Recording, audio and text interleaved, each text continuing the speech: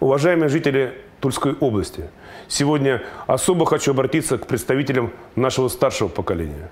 Сейчас вы находитесь в наиболее уязвимом положении. Поэтому я очень прошу вас соблюдать режим самоизоляции. Пожалуйста, побудьте дома. Этим вы не только убережете себя, но и своих близких. Подадите отличный пример детям, подросткам и нашей молодежи.